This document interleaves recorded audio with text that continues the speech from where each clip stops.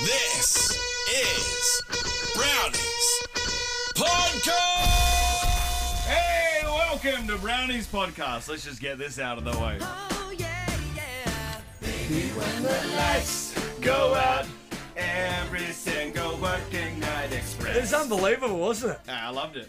The rebuild of the Gabba can't come quick enough Oh, for the Olympics in what a 2032. Brownie, just get it out. Why, what, how useless what happened? It is a shithole, actually. So when I first started the Gabba in the late 90s, the sewer, the open uh, sewer vent came up through the gym.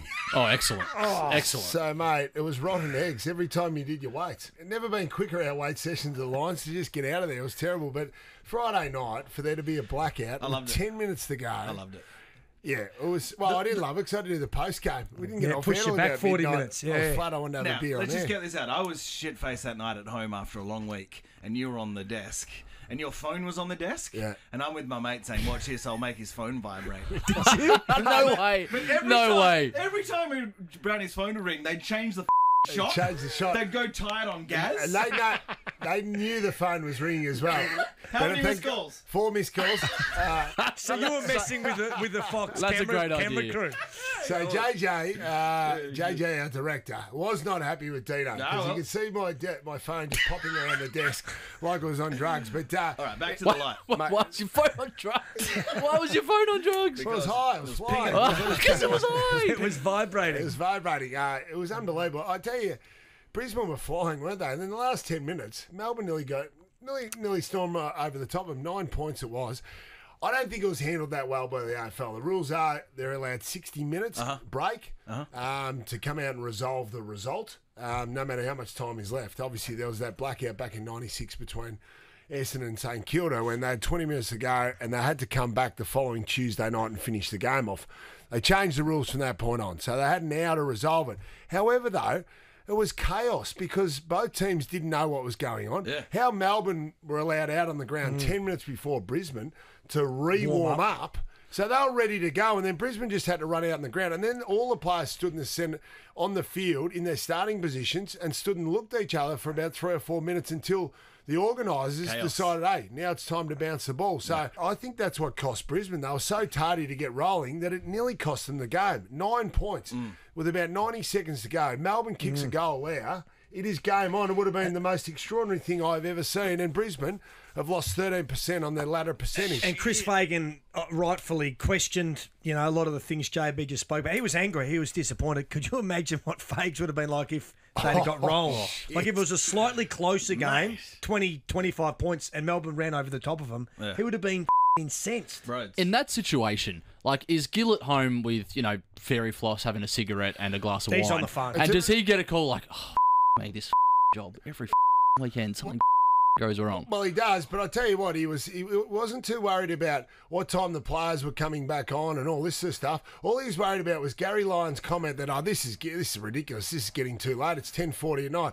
He texted Gary and said, "Remember, there's no daylight savings in Queensland, Gary." bullshit. Oh, I love that. Mate, mate, on air, on air. So Gaz obviously had his phone on, unlike me, Deano. But uh, Gil has texted Gaz. so Oh, I Gil- love so don't worry. What- so why Gil is is Gil sitting- watching Channel 7 broadcast? Why is he Yeah, watching that's Fox? He's huge. watching Fox. Jeez. Hey, the great broadcaster that is Fox and KO. We love him, but Gil's at home, probably a bottle and a half in, and he's just noticed uh, Gaz's comments. Said, "Hey, on, come on, Gaz, Hey, get let up me with tell your you, geography." He is spot on, though. Gil's bottles don't have a screw top. They're Oh, no. cork No, all the way. Penfolds Grange. Cork, He's- baby. mate, he's South Australian blue blood. He's a big linen shirt cork boy. Absolutely. So mate. he's only drinking the best, mate.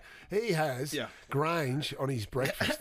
Don't you worry about The that. close- Close those up, the close up of that single light on fire magic. Yeah, it's beautiful. I can't believe they got back, man. That looked like a danger to everyone at the ground. I'm actually surprised the ground didn't get evacuated. Yeah. shit, Don't you man. Oh, yeah. Like, yeah. like, there's fire up in the uh, the light globe, so So that was the, the first sort of controversy of the round. Yep. What did you make of the, the finish to the North Melbourne and uh, Dockers game? Because um, that's the right call. It was the right call. You can't, an umpire can't give a free kick for something that hasn't actually occurred yet. And while it was intentional and they're about to pay it, the siren sounds. It's not a free There kick. is no play. That's There's no play. As soon as the The- siren goes, there is no play. But when you- A- apart from a kick after the siren, which we all know. yeah. And if it's a bouncing ball and the siren sounds, The AFL said that the siren sounded before it went out, but it didn't. No, but it did in the ears of the the timekeeper that had it. Uh, Blows the siren. Right. The umpires hear that through their mic, That's right. Right. and then it takes half a second or whatever It is- for it to reverberate around the ground. It is when the umpire deems that he has heard the siren. Okay, that, right. that is the rules. Okay, right. So Yeah. they obviously hear it through their ears, and straight away they obviously blow the whistle. So it's in the view of the umpires, Deano, whether it's inbounds or out of bounds, and ultimately it goes back to their decision. Clarko arcing up on the. He was excited. Like he, he was excited. He's got That- energy again. That's a big win. Like for, for any group to go across to the Nullarbor and play Hardest trip in football. You know, any West Australian side, it's the toughest trip. So for a young club mm. that's on the way up, second game that he's coaching, Actually, that's a, you that's owe, a huge you win. owe us Clarko. You said last year, I guarantee you I will get Clarko Yeah, on this I'll get podcast. Clarko. Yeah. Right. You've been promising it for 18 Dog, months. you don't have to lie to us. We're your friends. I'm more of a chance of getting Clarko. I spoke to his Yeah. manager in the airport last year, Hendo, and I said, mate, we need Clarko. And he said, I will deliver you There's Clarko. no doubt that JB would speak to Clarko more than I do, and you know at the moment. So maybe we just Clarko- take the responsibility off my hands and give it to someone that can actually deliver. You want this burden? Well, I'm confident I can deliver Clark. Clarko just to prove the dog's full of shit. There you have it, Not Jonathan Brown. Let's have an arms it. race. I'm going to go after him as well. Okay. We're going to attack him from both sides, and we'll Okay, see let's which do one. that. It's an arms race. Let's see how it unfolds. Uh, No, it was it was a good effort by them. So a great win to go over there and win. Dockers uh, In trouble. What do you reckon, Deano? You watch In the trouble. West Well, Australian I'm the- football closely. I'm the wrong person to ask because I'll just give a real biased opinion because uh, we've got a spicy history. But it does mean that the Western Derby might have a bit of fire because Eagles look like they could have at least a chance. Dog, Hawthorn, what do you reckon? Are you just accepting that it could be a rough year? Nah, they're, they're in more trouble than I thought. I, I tipped them to finish second last on the ladder. I actually thought North would be last, but they play each other this week down in Tassie. How good? And Oh, what, what a clash. huge. Can't wait for that. Is there bad? Is there s- still bad blood between? Well, Clarko and Hawthorn, but Clarko and Mitch, how would their relationship be? Um, uh, it's not great. Um, so I, I, I think this is going to be like a mini grand final for Clarko. I mean, the fact that they're two and zero now, and he's come up against his former club, and Le- he's got Liam Shiels and Daniel Howe there that are former uh, Hawthorn people. He's going to be. He's going to. I reckon he's going to whip this this kangaroo side into a bit of a frenzy for him to say, "Hey, boys, let's. We've got a, a chance to be unbeaten this year." So right, he'll use you, uh, use that narrative Yep. and really, you know, get going. But deep down, he'll be thinking, I want to stick it right up Hawthorn's ass. right up there, That was that, that was eloquently put, wasn't it? Because he's so competitive, and um, I mean, there's, there's no It sugarcoating. might be good it was, for football, uh, Brown Dog, because uh, Hawthorn, um, Tasmanian football's been struggling a little bit, especially with Hawthorn the last couple of years. Hopefully, a good crowd turns up. Unbelievably, you're right. North got a very good opportunity to be three and zip. Oh, they Same will as- be. that- that's right. So the new coaches have been big, haven't they? So Clarko was spoken about him. Brad Scott and Ross Lyon as well. Their teams are flying, so undefeated. airborne, and um, and it's fair to say, like it's it's hard to see where the goals have going to been come from because you know. Peter Wright and Stringer have been out for Essendon. They've just found a way to, you know, Langford on the weekend, kick five. Yep. Um, and then St Kilda, you look at their injury list. Mate. Mate, they, they've only got about 25 players to choose from. It was a bunch of first and second year players. The one thing you can guarantee from Clarkson, Lyon, and Brad Scott, they've got presence. Oh, yeah. They've got automatic respect. So when they walk into that locker room for the first time Yeah. and they demand. Oh. Demand accountability, More presence than when- Santa Claus. That's right. More, I love that. More presence than Santa Well Claus. done, dog. That's But- another great phrase. But they demand defensive accountability and to be hard to play against and hard to score against, and for you to follow these standards, no matter what, you're going to get that every time. And that's what Essendon have been hard to play against, North have been hard to play against, and St Kilda have been hard to play against. So Yep. if you actually look at it in its totality, it's Yep. not surprising that these three men have been able to get the best out of their list at the moment, which at the at the moment are not at the top of the tree. Yep. You know, if you actually look at the talents across the level of the teams, Yeah. you wouldn't have had North Melbourne, St Kilda, and Essendon at the top of the tree talent wise. Bros, what do you reckon? Does that mean that if, say, someone like uh, Brendan Bolton, who is supposedly a great assistant coach and a great person, or David Noble, for instance, they walk into a locker room and the respect isn't as strong Spot as on. it would be for someone else? And do, is that players don't play for them? Clearly, they didn't play. The Carlton didn't play for Brendan Bolton. Clearly, they didn't play for David Noble all the time. Is that because it's a matter of it's respect? Not, it's- not that they don't have respect for them. The fact is, there's a fear factor about it. I know when I played under the great Leigh Matthews, I can still remember the non-negotiables he had. You can remember them uh, on the back, like it's the on the back of your hand, okay? And you've got that fear, that little subconscious fear in the back of your head. If I don't do this and don't do this every single time, I will lose respect from him, and he will. Uh, I will lose respect from him, and I'll lose my spot in the team ultimately. So there is that fear factor. Don't you worry about that. Now, coach will argue, "I know we don't want our players playing on fear," but it is. It is a subconscious thing that you go out and you get the job done, and that's what these men, Yeah. these three men who've been successful coaches in their own right, pre. Now they've demanded that, and they've been able to get it. Ideas are worth nothing unless backed by application. The smallest of implementations is always worth more than the grandest of intentions. Whoa. Whoa, whoa, whoa. Let's just shorten all that. They've all got big dick energy. Yeah. Am I right? Big dick energy. What Hey. about a man with big dick energy, Nick Daicos, over at the MCG? Right on, man. Has he, has he got big dick energy? Absolutely. Well, he does at the moment. How can you be Brownlow favourite in your second year? Mate, he's a freak. He hasn't missed a game of football since he got drafted. Mm. He is averaging about 27 disposals across his career. Remember that game he had 40 and kicked three over in Adelaide like last year? 18, 19 year old kids don't do that. No. Um, he got tagged on the weekend by a guy that's pretty disciplined That was at a his terrible job. decision, though. On the advice of We love Fly. Kenny. Fly Ken- suggested someone tag him. Yeah, well, Yeah. did. Yeah, he he did. He, he um. So what, what did you do? He, he put a target fairly and square on Nick Da- Daicos's back. Yeah, because he know he he's can gone handle for it. Jones. Why would he have gone for Jones? Jones is a half-back flanker. He's got a great mullet. Admittedly, I'm not sure how he goes as a tagger though.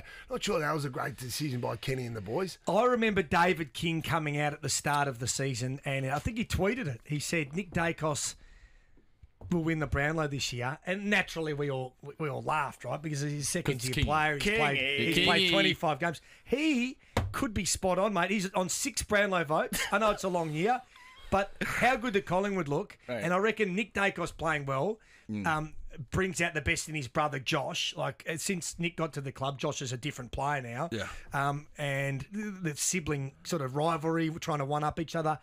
They're flying. Nick This- Daicos is a freak, and he kicked the ball as it hit his boot from 50. He put his hand in the air Yeah, that was because he knew it was home. Mm-hmm. I used to do that all the time, mate. No, but you'd wait. You'd wait till hell. it was mid-air, not off your actual I boot. knew. I knew. You just know, don't you? Yeah, at least seventy-three percent of the time, I knew. You invented the finger in the air. I've just never seen it so quickly up. Is it a tingle in the loins that lets you know? You just know internally. You in do, your- absolutely. in your groin? When it hits the boot, hey, don't. Is there a tingle in the loins, though, for Daicos or for Jason Horne-Francis? If you had to put your life on the line, you can only have one player. Who are you going for, dog? Oh well, right now the numbers and the impact on games and everything, it's it's clear. It's Nick Daicos every day of the week. Um, he's he's done it in finals. He played very well in Give the me three five finals. years. No, Nick Daicos is a prodigy. I think he could be anything. Really? Yeah, He's a Are you freak. John. prepared to put something on it? Like he's going to win five Brownlows, or are you going to no, put a big but statement? I'm prepared to say in the totality of their careers, we will look back and Nick Daicos will have a much better career than Josh uh, than- much- than, than Horne-Francis. a much better, Brody. How do you respond as a Port Adelaide supporter? Jason Horne-Francis is a prodigal talent, and he will Prodigal. Pro- prodigal, Yeah. prodigal, Be, no, prodigal. we- can we- is that Hang a on, word? That is prodigious. it. Say it again. Prodigal. Mate, that's not a word. Is that a It- word, it man? is a word. That is not a word. One I think you- you're looking for prodigious. Someone, prodigious someone, or prodigal? Someone Google it. Prodigious. Prodigal. Prodigious. Prodi- no, it's not. It's, mate, do you know what? Uh, uh, I am. John's on it. that is not a no Wait, word. Google it. I'm, a, I'm the judge of the English language. I'm Oh, probably is the best, right? the best exponent of it, Well, and he's, that a, is not. he's a Scotch boy. Prodigal. Prodigal. Yeah. It's not a word. I would say it's If the- it's a word, I'll give you hundred dollars cash. Uh, no, there's only prodigal. there's prodigious and You've prodigal. combined the two, you you absolute flog. Let's go around the room real quick. I think and- it might be a.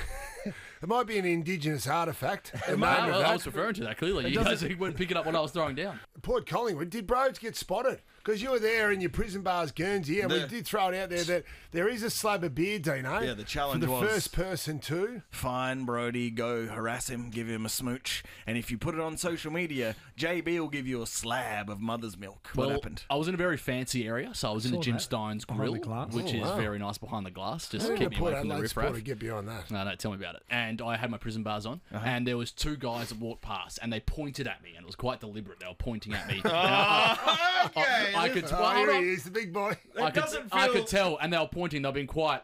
Whether it was I had offended them with the prison bars as well, but they were very like they knew what was going on. Are on. you claiming that a random person pointing was them spotting you? Well, yeah, I they were technically first. God, that's The second time I went to the London, the London Tavern, great Right, pub, yeah. and I was accosted by a young fella there who didn't even give me his name, big boy, and he's like, "I love." His weight is not necessary. Yeah, well, and he said, "I love Brownie's podcast," and so ah. he's technically the winner, but he didn't give me his name, so I actually can't give him the slap. A photo. I got a photo. Okay. But the second one was my favourite. Yeah. It was this guy. We're at the precincts a bit later on. This is getting pretty late. Jeez, you've had a big day. This is this is getting a bit later on. This is about oh, would have been maybe midnight. Oh, wow. And he comes up. He goes, "I need a photo." He goes, "I'm like," he goes, "I'm one of the Glen Waverley boys." I was like, Oh Oh, no, not He- from that Mad Monday. he goes, "I was there on Mad Monday." He goes, you've got to remember He wasn't me." the captain, was he? He, no, he goes, that's my best mate. I was Oh, like, oh, that's a proud moment. And so then he's like, oh, come get a photo. And he made me FaceTime his mates who also listen to the podcast. And we were a bit weary by this point. And he said, if you don't mention it on the podcast, I'll fucking bash you. I'm like, Well, great. That's, well, that's there lovely. go. You know, I was three people. And did you get a head job off him? If he's a Glen Waverley boy. that's that's a fair question. That is a fair question. Considering why we're talking about them, that is a valid question. He was very proud of the club, very proud of the club's history. Very Okay, I see they're out this year. They're not playing. Oh, well, Then it folded the club. Great right. Folded the abolished. club. They were abolished. Oi, back to my game. Ah, the West Coast Eagles shit. Go, John. Well, I love the change in game style. They decided to actually play fast footy. And Simo looks like he's Exciting footy. invested again. They absolutely. Geez, it was like a cat in a hot tin roof. That coach Chucking box. bottles around. Dog. Uh, no, when Tim Kelly plays like that, and McGovern's good down back, and Waterman's in the side, and uh, Cripps is chasing. They, uh, Luke, uh, Still got stars. Luke Shuey. Luke Shuey, Boots Liam Ryan, well. mate, they were all good. back. They were We're all back. good, weren't they? We're back. We've already had half of the wins we had last season. I just wish they won the week before when I declared them as the bet of the round.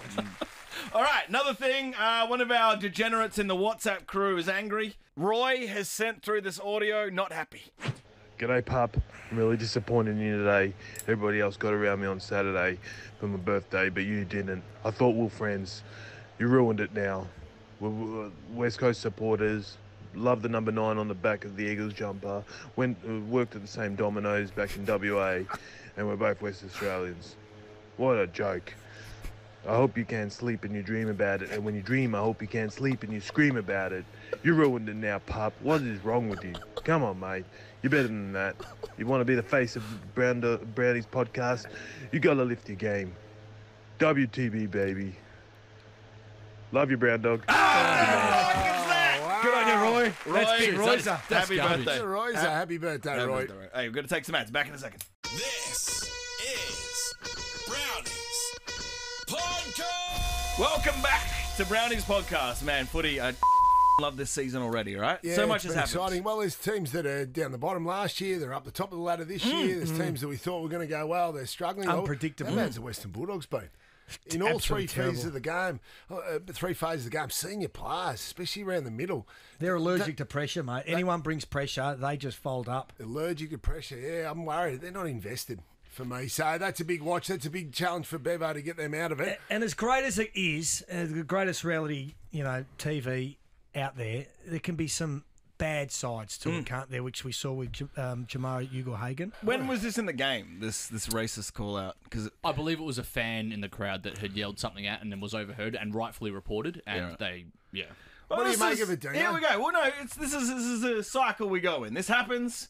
Indigenous members of the football world have to get tired and comment on it. It's just bullshit. Obviously, we all know that. So we're not arguing is it bad or not. But the point is, it has to. We have to keep calling them out. And make it not cool. I love how you, I love how you said the Indigenous members of our football community get drawn into it. The Yeah. player, the Yeah. participants that have to get drawn into it. So they'd be, you'd have players across the league today walking into training and Yep. getting door stopped for their comment, and then they become a part of the story Yep. when they had nothing to do with the story. And people might go, it's just sticks and stones, it's just uh, name calling, just don't listen, but it's different. It's insulting their family, their whole heritage. You're calling them less than by your stupid bullshit.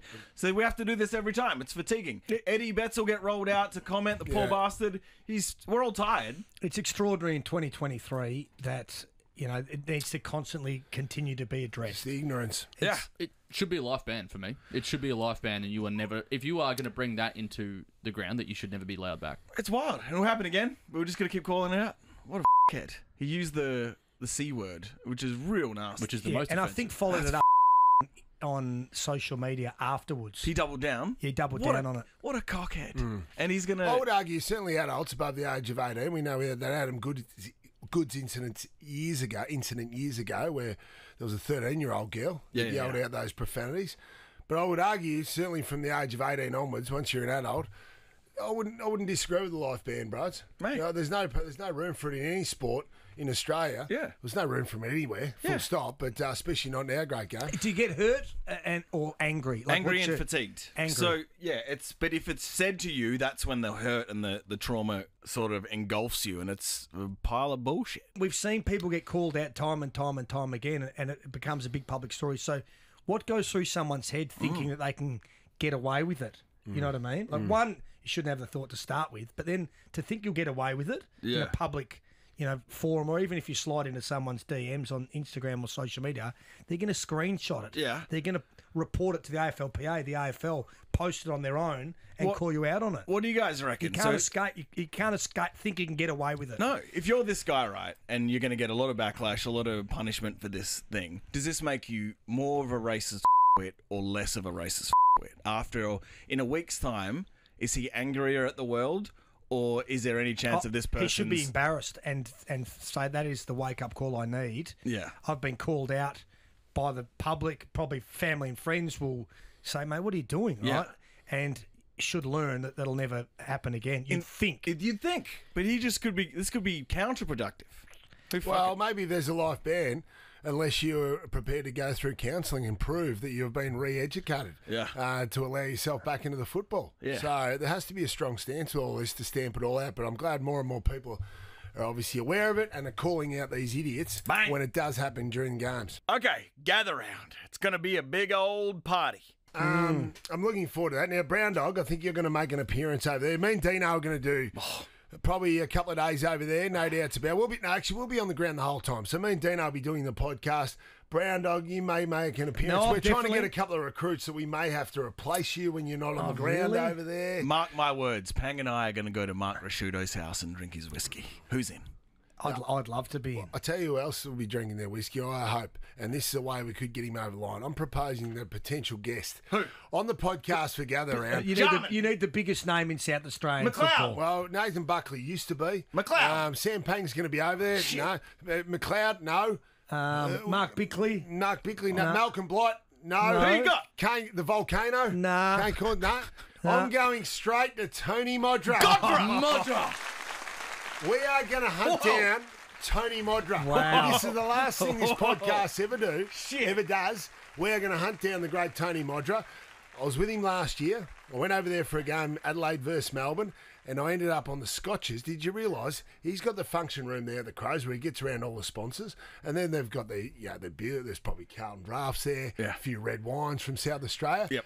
He said to the barman, he goes, "I'll just have the regular from my stash, please." That's Godra for you. And they bu- brought a beautiful top shelf bottle of scotch out, which is just reserved especially for Tony Modra. Johnny in Blue the was- secret little cupboard. Was it Johnny Blue, brother? Absolutely. Is It he Johnny still Blue. vault? So There we very may, uh, goes. we may have to turn up on Godra's doorstep with a bottle of Johnny Blue. Is it fair to say that Tony Modra is the late 90s, early 2000s version of Bailey Smith? Mm. Yep. Yes. The body, the Yeah, look, that's a the good call. But more exciting than More Barry exciting. Smith. Oh, Mate, jumped yeah. on heads. Jumped, Jumped on, on heads. heads. I it was a great goal kick. Kicked 129 goals one Yeah, that's year. good. In the first five years of the Dockers being in the league, they couldn't beat the Eagles. Modra went over there. Remember that? He, Yes. He's played out his career as a full forward for Dockers. They beat the Eagles for the first time, and apparently he went out night clubbing in thongs Yeah. and double pluggers. He would have done everything that Bailey Smith has done times 10. Mate. Imagine if it was Instagram back when he played the, the, the amount of putting a, women a camera over a cubicle following him in those around. days. I know. I'm not saying anything. Uh, uh, what is he still a good-looking man? Or is he, has Absolutely. he aged No, gracefully? he's filled out. Yeah. He's, filled- he's a beef farmer now. He's a farmer up in uh, South Australia, about an hour out of town. So is he handsome or does he look like an old potato? Mate, Tony Modra will always be handsome. You're right, mate. He's like Because Brad we Pitt. imagine him, and he's hot. Exactly right. They're never going to old. They're never going to age. So I like anyway, we're, this. we're going to chase down Godra. Oh, That'd can't be wait. huge. For the board? pod. That That'd is be the huge. podcast maybe biggest moment, I reckon. Bros, what do you got? All right, so there was another thing from the weekend that really uh, s- uh, spurned something in my mind. All right, so they were talking about booing because they were booing Jason Horne-Francis at the Collingwood game. They were just giving it to him, boo like him, rubbers boy, all this kind of stuff, right? Uh, One of my friends was actually next to that is you love this story. So was at the Collingwood game and was at so you know how obviously Ollie Henry has left Collingwood and gone to Geelong Yes. and a friend of mine was absolutely giving it to Ollie Henry from over the fence, giving it to How him. How far from the front row? Uh, Close enough? third row. Oh, yeah. Very Audible. close. Nice, Very audible.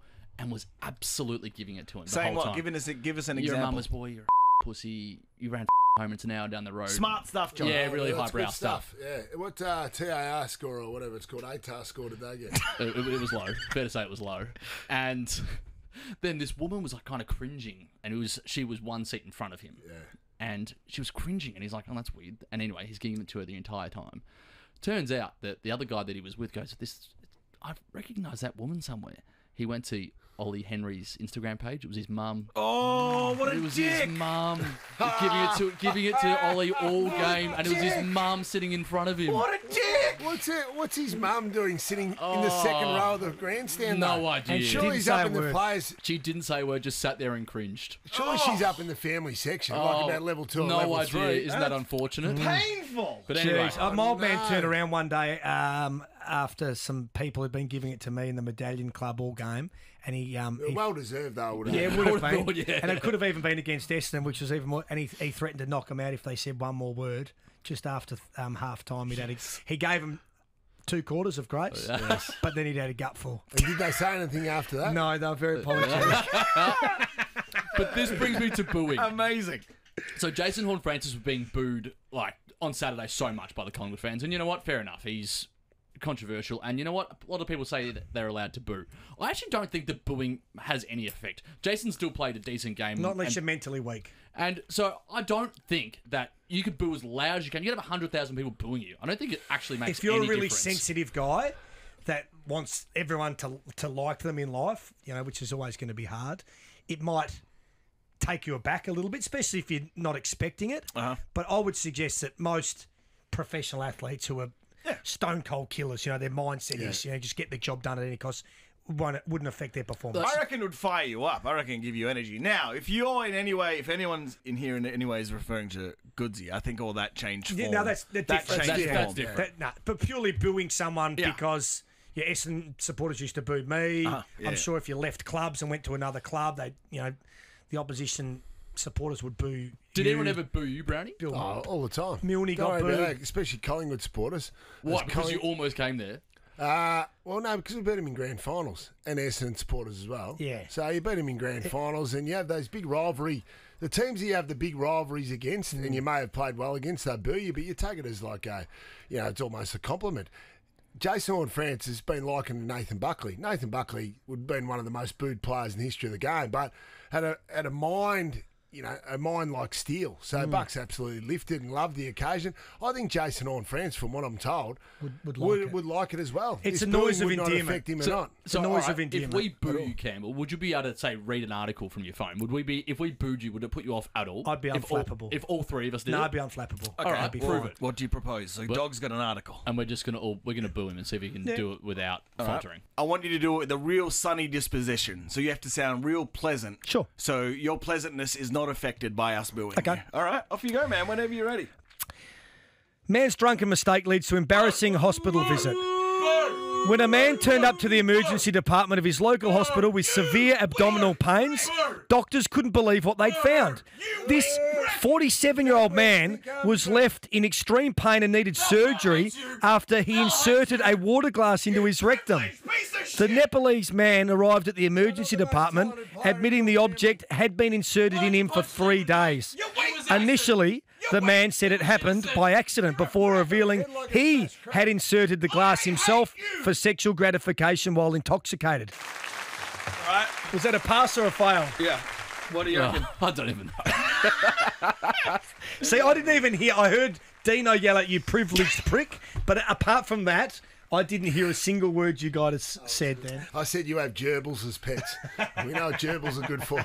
No, but you did hear the privilege word, which got through to your Yeah, side. I know. that cut Yeah. through. Yeah, that cut through. But I was unflappable. Ants back in a second. This is Browny's Podcast.